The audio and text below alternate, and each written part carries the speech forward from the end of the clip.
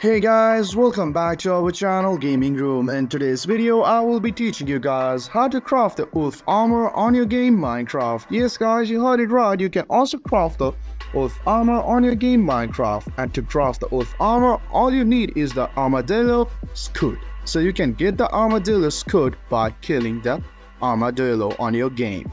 So as you have the armadillo scout, just approach your crafting table on your Minecraft game. So as you approach the crafting table, just right click on it. And as you right click on it, you can see this crafting box. Just select your armadillo scout and just place it in the position I have kept. So as you keep it like this, you can see your wolf armor has been ready. So just select it, drag it, and keep it on your inventory.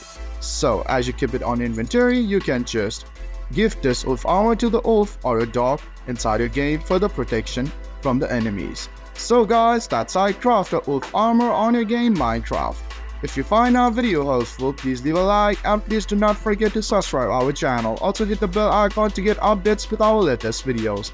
And drop a comment for reviews and more content like this. I will see you guys again in our next video. Thank you for watching.